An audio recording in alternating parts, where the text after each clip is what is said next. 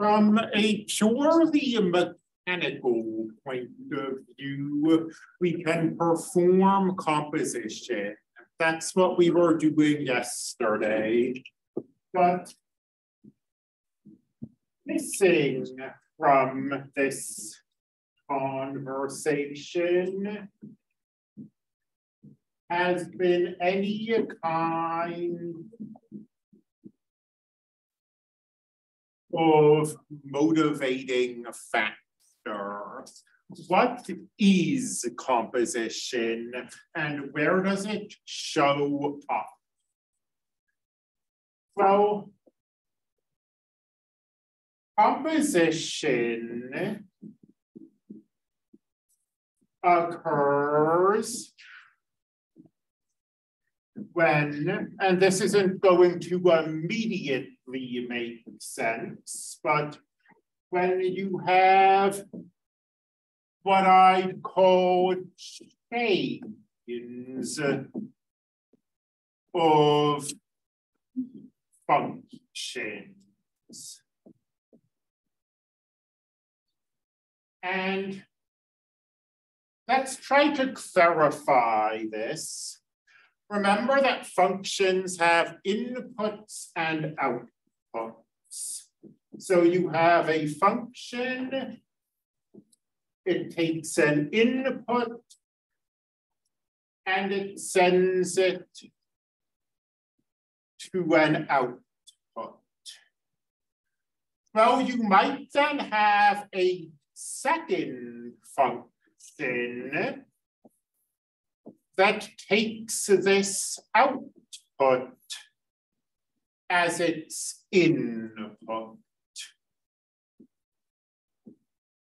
And then maps it to a second output. And if this diagram isn't immediately clear, I think a concrete example might help. Let's say we are heating a metal bar. So as time passes, a metal bar is heating up and we can define a function that takes time as its input and gives the temperature of the bar as its output. Now, as a metal bar heats up, it's going to experience a phenomenon known as thermal expansion.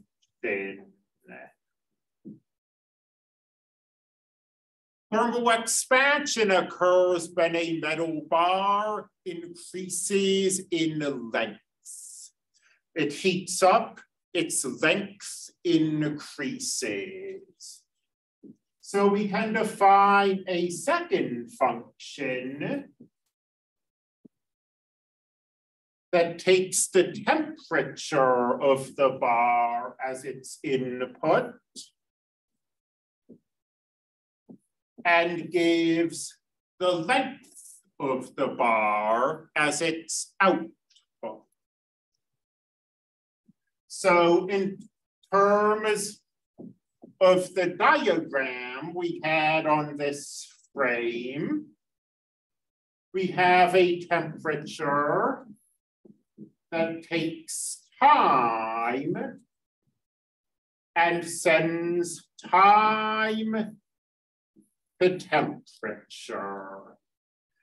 And this output of the first function is the input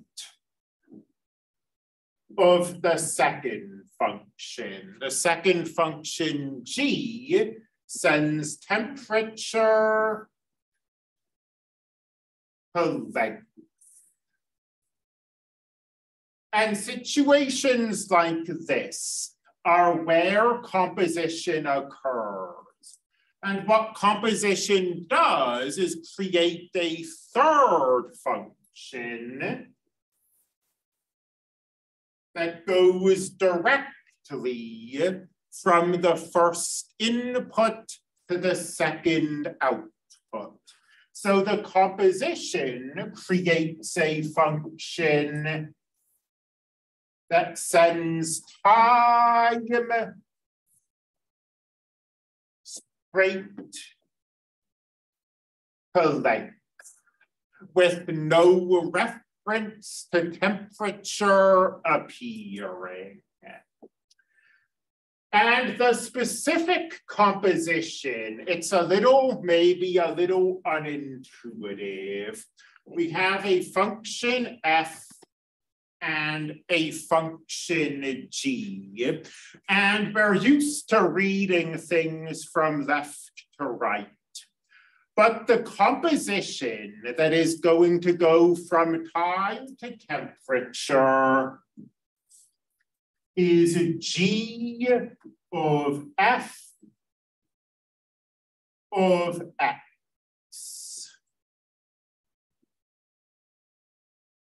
So the composition, notice, is in reverse order. That is, if you take, look at this sort of flow chart and read left to right, first you see the function f, then you see the function g. But when you write down the composition, you see we've written that g first and this F second. And as with so many things in mathematics, I think a concrete example will help verify all of this. Let's keep the time temperature length example. Let's define a function that takes as its input the amount of time the metal bar has been heating and gives as its output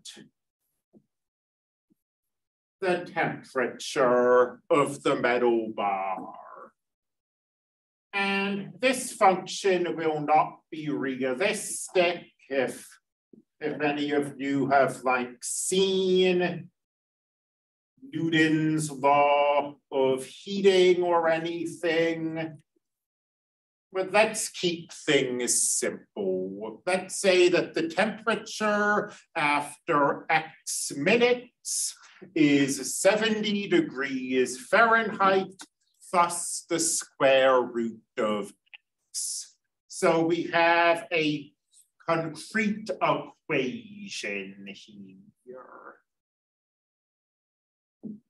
And then we'll define a function that sends the temperature of the bar to the length of the bar. Say g of x equals five, thus zero point zero one x. So we have a function that takes time to temperature, and we have a function that takes temperature to length. And let's give ourselves a concrete goal, which will be to write a function.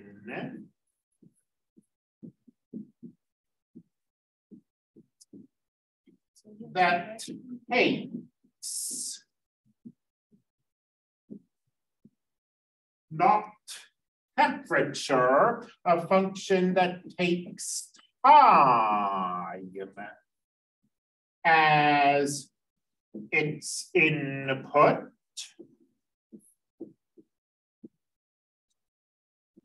And outputs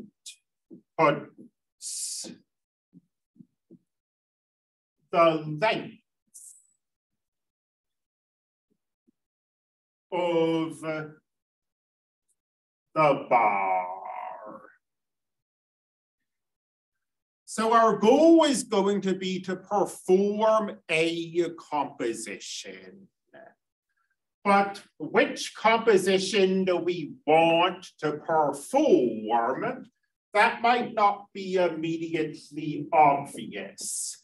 There are two compositions we could perform.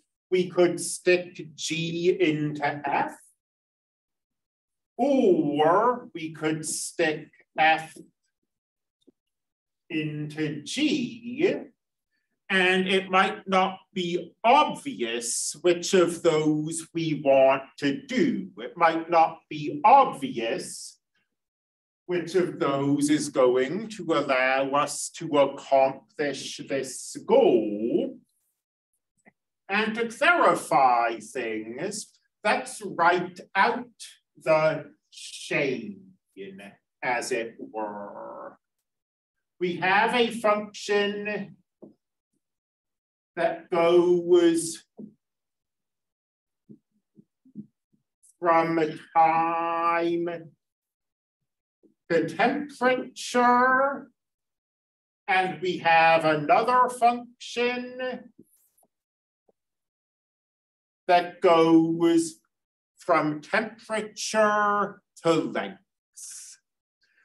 And the function that goes from time to temperature is f. And the function that goes from temperature to length is g.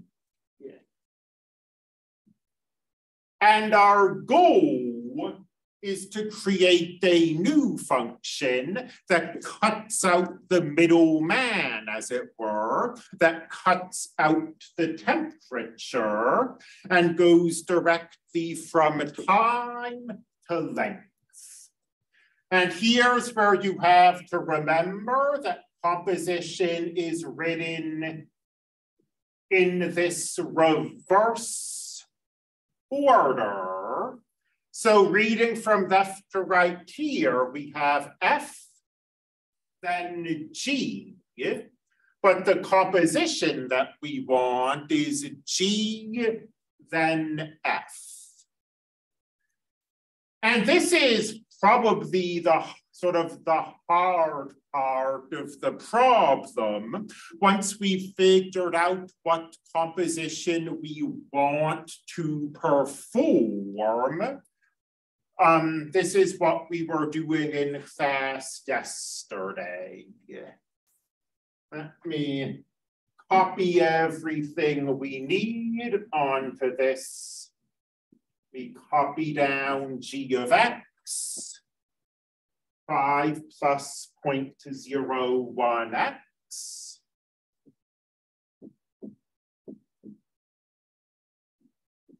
And let me remind myself, remind us what f of x is 70 plus the square root of x.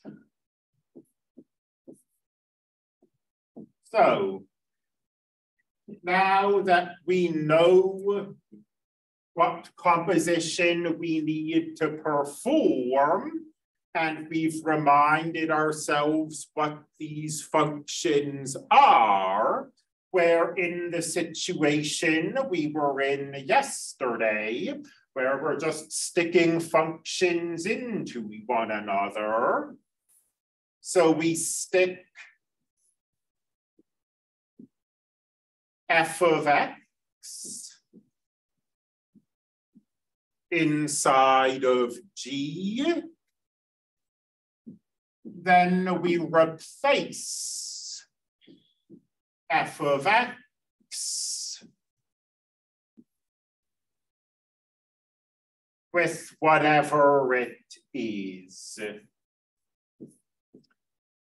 70 plus the square root of x. And We were asked to find the function. We found the function. Our answer is complete. We haven't been asked to set it equal to zero or set it equal to anything or do anything with it. We've been asked to find this function and we have. We could simplify it a little if we wanted to, but fundamentally we've finished this problem. We should probably do a second example. I'll just pick one from the class work.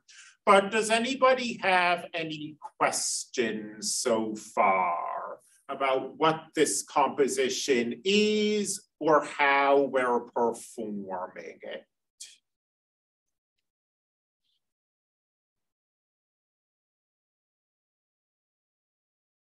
If not, let's see.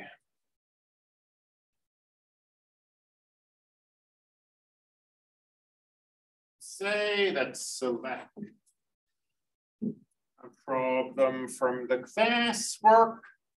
So now we're looking at a bar, no longer a metal bar, but the kind of bar where you go to drink. Or well, you don't, but you know what I mean. Um, so a bar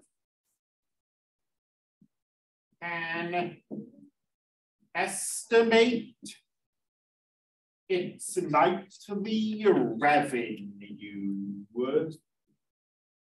from the number of customers it has. In particular, according to some website that may or may not be trustworthy. On average, in America, when somebody goes into a bar, they spend $36.51 there. So the revenue that the bar generates is the number of customers it has times 36.51. Now, when it is very cold or very hot. People tend not to go to bars. They tend to stay in. So the number of customers that a bar can expect depends on the weather outside. It depends on the temperature. And a semi-realistic equation, at least, I mean, this is for a larger city than Chadron. I doubt many bars here are seeing 700 people in a night, but in a large city, a realistic equation might be a maximum of 700 people and then minus some quadratic term. We haven't talked about quadratics yet, but we don't need to know anything about them to do with this problem. So we've given you, or I've given you, two functions. One function takes the number of customers. And what am I doing? And gives the revenue. And I've named that function R for revenue. And the other function takes um, the temperature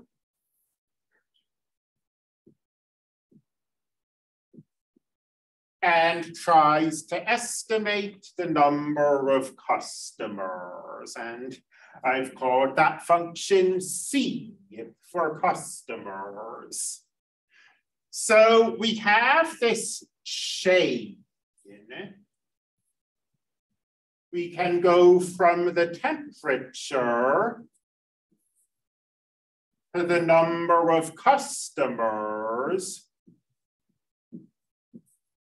to the revenue.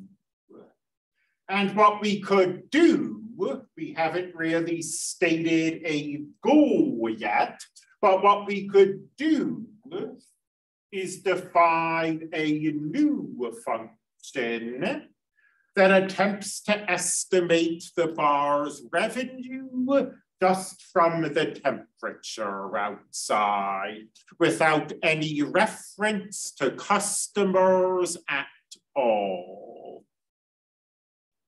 And if this is the function C, and this is the function R, then this new function is the composition of those two functions.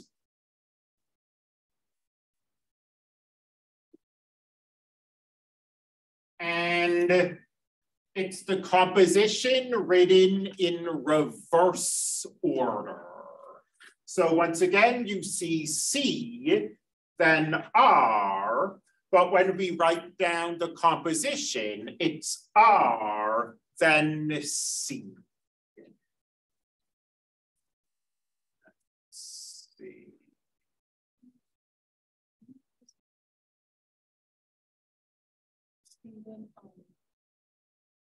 I mean, this is all, I'm just trying to think, what's my variable here? My variable isn't X. This function, is taking temperature as its input.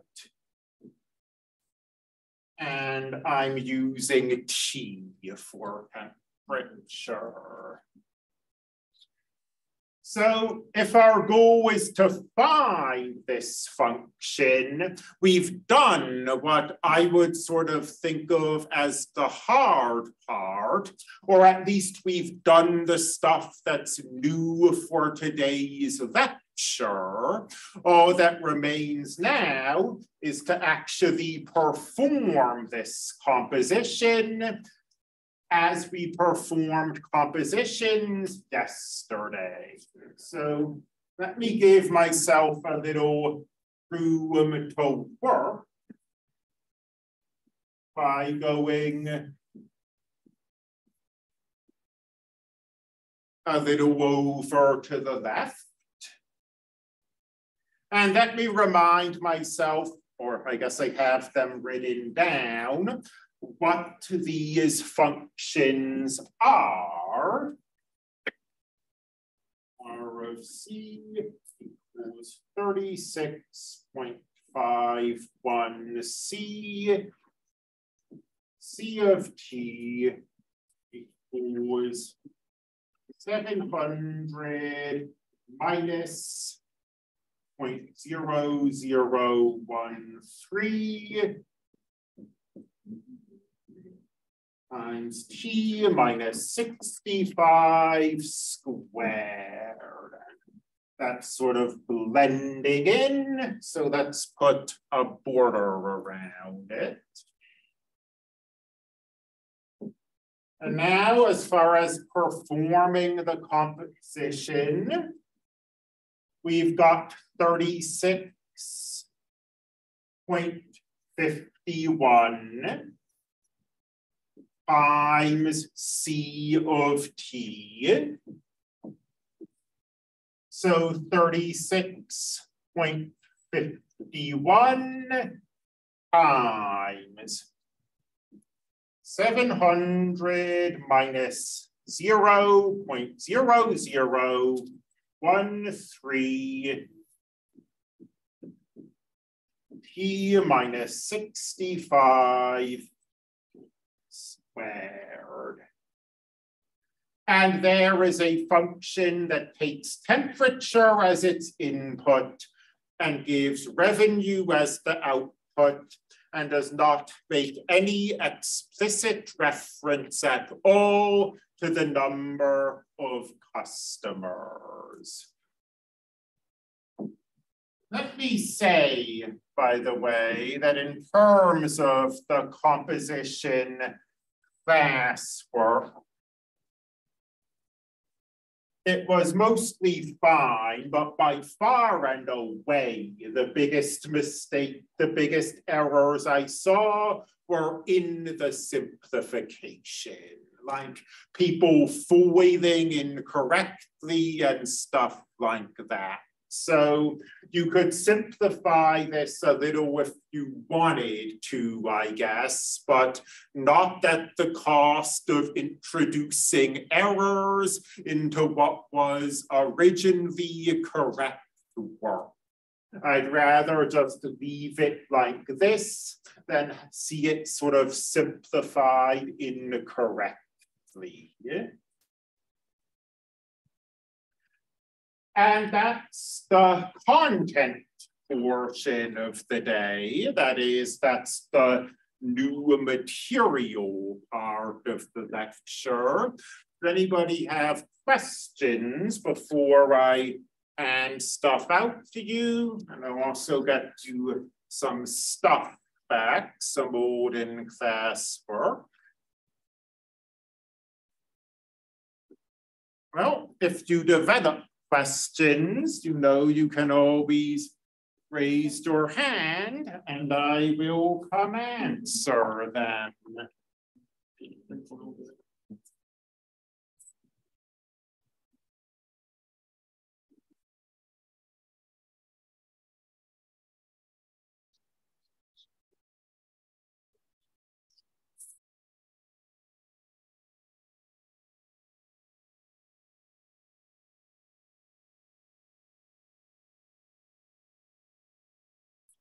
Six, I think.